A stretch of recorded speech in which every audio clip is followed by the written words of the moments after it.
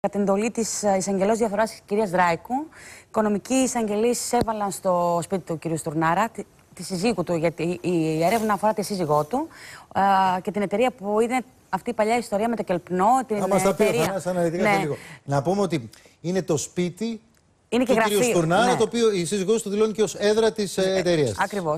Εισέβαλαν λοιπόν οι εισαγγελίες ψάχνοντας και κατέσχεσαν διάφορα έγγραφα που αφορούν την υπόθεση που βρίσκεται σε εξέλιξη η έρευνά της.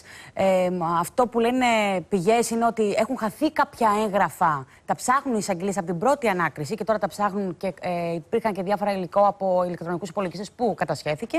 Και με να δούμε τι ακριβώς περιλαμβάνουν αυτά τα έγγραφα. Βάλε μια ανωτελεία πριν πάμε στο παρασκήνιο. Θανάση, είναι ποια ιστορία ακριβώς, τι ερευνά δηλαδή η δικαιοσύνη; Η δικαιοσύνη ερευνά μια παλιά ιστορία του Κέλπνο για διάθεση σημαντικών ποσών για δημόσιες σχέσεις, για διαφημίσεις, για εκθέσεις, για προωθητικές ενέργειες. Είναι νομίζω 1.600.000 Ένα, ευρώ. ένα περίπου. εκατομμύριο εξακόσιες χιλιάδες είναι μόνο τα χρήματα που λέγεται ότι διαχειρίστηκε η εταιρεία της, κυρί... της, σύζυγου... της συζύγου του κυρίου Στουρνάρα. Άρα το Κελπνό αναθέτει σε μια εταιρεία που είναι της Ακριβώς. συζύγου του κ. Στουρνάρα αυτήν την ε, Την δουλειά. εργολαβία θα πούμε, τη δουλειά για, ένα εκθέσεις 600 και για πρόθεση. Αυτή τη στιγμή ερευνά η δικαιοσύνη το πώς διατέθηκαν αυτά τα χρήματα, Ακριβώς. πού διατέθηκαν κλπ. Ακριβώς γιατί γενικότερα θεωρείται ότι τα χρήματα που διέθεσε το Κέλυπνο δεν θα έπρεπε να τα διαθέσει Εκεί διότι που τα- δεν συνάδει με το σκοπό του Κέλυπνο. Μάλιστα. Άρα λοιπόν έχουμε αυτό το λόγο που γίνεται η έρευνα στο σπίτι πια του κυρίου Στουρνάρα. Αλλά Αμαλία,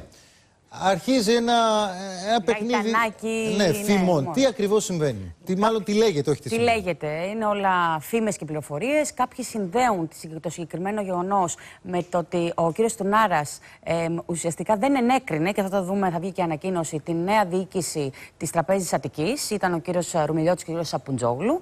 Έθεσε... Να πούμε ότι οι διοικήσεις των τραπεζών πρέπει να εγκριθούν από τον κεντρικό τραπεζίτη, από την Τράπεζα της Ελλάδας. Ναι, η- ειδικότερα για την Τράπεζα Αττικής που δεν είναι συστημική τράπεζα, είναι μη συστημική τράπεζα. Άρα ε, δεν, η διοίκησή της θα πρέπει να εγκριθεί μόνο από την Τράπεζα της Ελλάδος και μπορεί ο SSM να μην έχει κανένα λόγο. Αν χρειαστεί, αν θεωρηθεί συστημικός κίνδυνος ότι είναι από την. Άρα όποιον επιλέξει η κυβέρνηση θα Ναι. πρέπει να τον εγκρίνει ο κύριος Στουρνάρας. Ναι.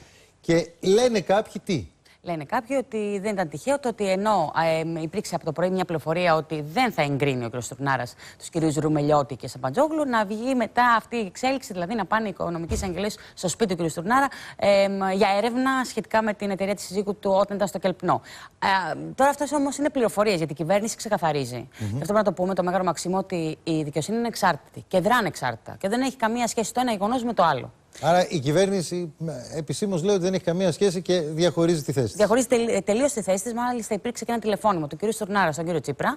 Ε, οι δύο άντρε μίλησαν σε καλό κλίμα και ε, βεβαίως αυτό που υπόθηκε και σε αυτήν την τηλεφωνική επικοινωνία είναι ότι η δικαιοσύνη κάνει τη δουλειά της. Έχουμε απόλυτη εμπιστοσύνη στο πρόσωπο του κεντρικού τραπεζίτη διαμηνού στο Μαξίμου. Και από εκεί και πέρα μένει να δούμε τα ευρήματα αυτής της έρευνας. Τι δείχνουν, τι θα δείξει. Θανάσης, εσύ τώρα έχεις μια επικοινωνία με κύκλους της Ακριβώς. πλευράς Τουρνάρα. Όπου τι σου λένε; Να πούμε το εξής, Νικό, ότι ήδη είχε διαρρεύσει από την προηγούμενη εβδομάδα από την Τράπεζα της Ελλάδος ότι θα εφαρμόσει πιστά τον νόμο στο θέμα των δύο στελεχών που επρόκειτο να τεθούν επικεφαλής της Attica Bank, δηλαδή του κυρίου Σαπουτζόγλου ως Προέδρου και του κυρίου Ρουμελιώτη ως Διευθύνοντος Συμβούλου.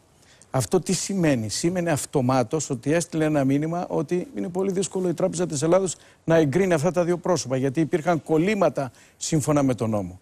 Λοιπόν, αυτό ακριβώς έρχονται τώρα από την Τράπεζα της Ελλάδος με τη μορφή διαρρών να πούν ότι η σημερινή κίνηση αποδίδεται σε κάποιο βαθμό σε κύκλους κυβερνητικούς οι οποίοι δεν ήταν καθόλου ευχαριστημένοι από τις αποφάσεις του κυρίου Άρα Στουρνάρα. μα λες από το ρεπορτάζ ότι η πλευρά του Τουρνάρα διαρρέει Σε ότι... κάποιους κύκλους, σε κάποιες πλευρές. Και να πούμε εδώ να διευκρινίσουμε για να μην δημιουργούνται παρεξηγήσεις, δεν εννοούν την αντιπροεδρία της κυβέρνησης με την οποία συνεργάζονται, επειδή ακριβώς ο κύριος Δραγασάκης είναι Α, εκεί αρμόδιος μετά, για το άμα μας πούν ποιους χρηματοπιστωτικό δεν τομέα. εννοούν, πρέπει να μας πούν και Τώρα ποιους πρέπει να εννοούν, πούμε, έτσι. τώρα- Εννοείται, αλλά τώρα- Ας μείνουμε σε αυτά. Μισό Πάντως, λεπτό, επειδή πούμε. ακριβώς Το ρεπορτάζ είναι σε συνεργάζεται, εξέλιξη. Ευχαριστώ επειδή τους ακριβώς συναδέλφους. συνεργάζεται πρέπει να το διευκρινίσουμε, γιατί Ε, αυτή είναι η άμεση. Ούτως ή άλλως το θέμα τρέχει. Πρώτον, έχουμε, αναμένουμε τις αποφάσεις της Τράπεζας της Ελλάδας για την Τράπεζα Αττικής. Περιμένουμε ενδεχομένως μια ανακοίνωση από την πλευρά της συζύγου του κυρίου Στουρνάρα. Άρα οι συνάδελφοι θα παρακολουθούν και θα μας ενημερώσουν. Αντιλαμβάνεστε ότι μιλάμε για ένα ζήτημα το οποίο αυτή τη στιγμή ε, είναι το κορυφαίο στην επικαιρότητα.